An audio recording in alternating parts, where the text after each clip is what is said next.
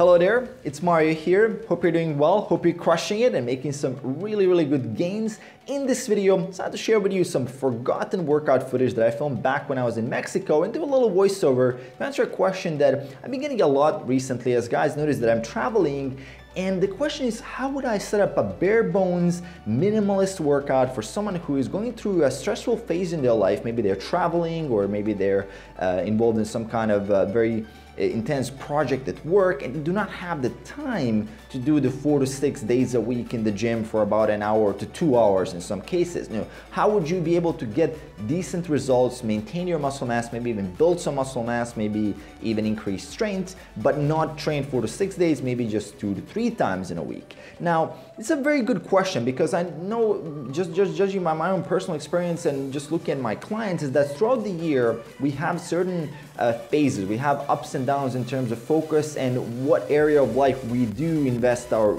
effort in. And that's something that is to be expected. And we are kind of juggling all these things at once relationships, business, training, and all of that. So, having some kind of plan B that you can execute and you can still get decent results is very, very important. Now, how would I set up this plan? Well, the basics when we're looking at the research, were the workout volume, the training volume, sets times reps times weight is the driver of hypertrophy, right? That's what we're looking at. So if the goal is hypertrophy, you want to look at volume first. And volume somewhere in that decent intensity, maybe between 65 to 90%. Now, if you're looking at a it's kind of a sweet spot for maximizing results with less time, you're looking at a rep range between 10 to 15 because you do not have the time to rest to get the volume with those heavy loads with low reps. So most of the work in this training plan, a bare bones minimalist plan, would be between 10 to 15 reps. And also what would be is that you would be training close to failure and even going to failure for the most part. Now, how many exercises? Well, I would say a push-pull or let's say a full body would be a really good option if you can only do two to three days a week. That would essentially be a full body session each time. And now how would I include this? Well, it would be one lower body dominant movement, let's say a squat, then you would do one pressing movement and one pulling movement, let's say a bench press on one day, and then uh, let's say on that day you would combine that with a barbell row. The next day you would do let's say a pull up or a chin up and then combine that with an overhead press, right? So on the second day for lower body you might start that off with a Romanian deadlift. Now one important factor here is that you don't necessarily have to do the squat or the RDL or the bench press or any other movement that has huge logistical setups to do. So that will be kind of your basic first three lifts in an exercise plan and then you would combine isolation movements on top of that. But for those big compound lifts, the issue can often be logistics. You know, the squat rack is taken, the Romanian deadlift weights are not there, you know, it, it's a little bit difficult. So you could replace that, let's say with just doing a machine leg press, the one that you can just pin and you select the weights that's very very fast for the bench press you might do a plate loaded machine press or things like that that will save you additional time that you can then use to get more volume for the overall uh, day and that's very very important and as well at the same time what you're looking at is that you want to do um, not just a single set, but you want to do at least two sets for these big movements. So we know that multiple sets trump single sets. I mean, James Krieger has done a really good review on this, and I'm going to leave that in the description below. We know that. I mean, about 50, 60% more results from just doing multiple sets instead of a single set for an exercise.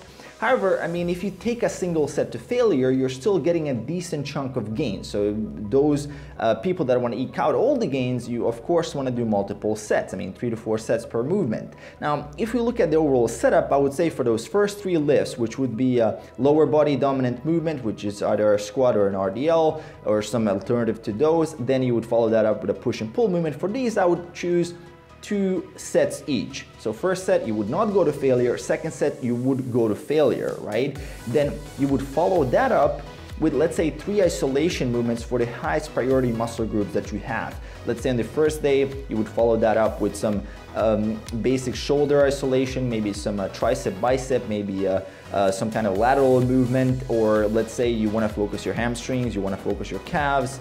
Sure, you can go for that. Uh, depends on what your priority is. But in essence, you want to make sure that for those isolation movements that you're doing one set to failure or maximum two sets, and if you are doing two sets, minimize the rest between the sets. You can organize them in a circuit faction, so you just go one exercise, second exercise, third exercise, and then repeat the whole circuit. That would minimize the amount of rest that you need between because when you're doing the bicep, the tricep would be resting, similarly for the shoulders.